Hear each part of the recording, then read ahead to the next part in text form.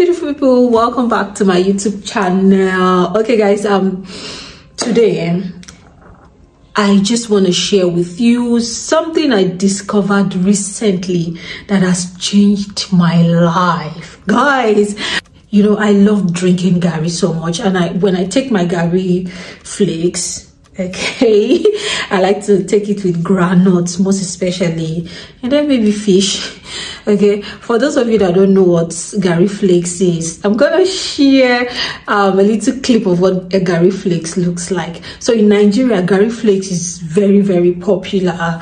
Like everyone takes it the rich the poor the middle class whoever you are.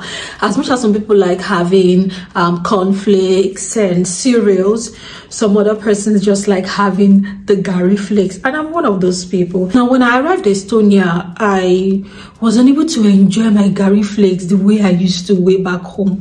Why?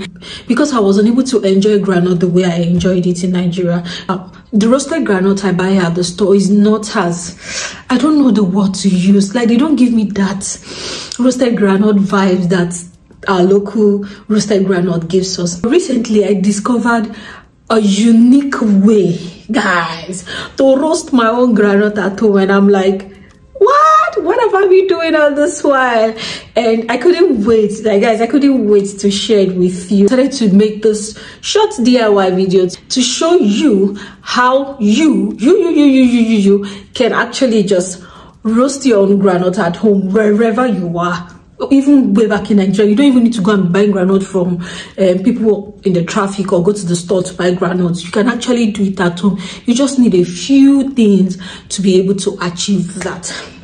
But before we move on, um, if this is your first time of watching, welcome, welcome, welcome. My name is Ugoma and I am excited to have you join us, okay? if you're interested in lifestyles, DIYs, vlogs, and um, life in Estonia, you know, sometimes I just share fun fact about life in Estonia. This is the right place for you. Do not hesitate to hit the subscribe button to subscribe, like this video, share with your friends, drop a comment and join this beautiful family. For my existing subscribers, you guys know how much I, you know, heart you. Thank you so much for always coming back to watch my videos and support my YouTube channel.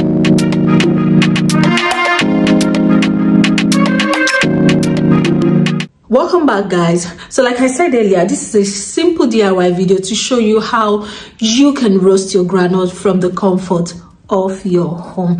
Now let's jump right at it and let's roast our groundnuts all right guys um all you need to roast your groundnut at home is most importantly your air fryer. The second thing you need is of course your groundnuts okay i got this at the store. These are fresh groundnuts and then i usually just use this baking sheet to coat my air fryer. So i'm just going to place it inside my air fryer like this. The reason why i do this is so that i don't lose any groundnuts and i'll st and start searching for it. Because if you look at the way my air fryer is it has some some holes in it. So i usually just lay it up with this baking sheet so guys the next thing i do is to pour my groundnuts into my air fryer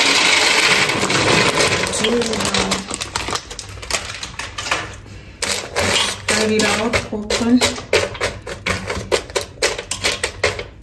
So now i have my groundnuts in the air fryer.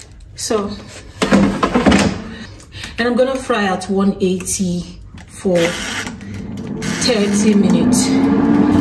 Okay guys so let's watch and see what happened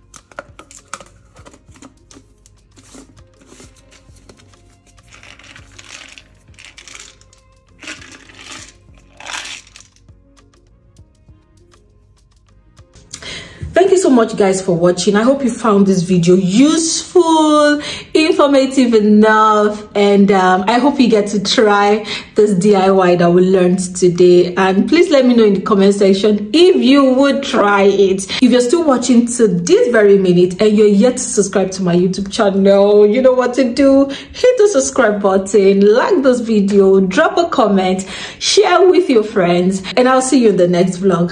Bye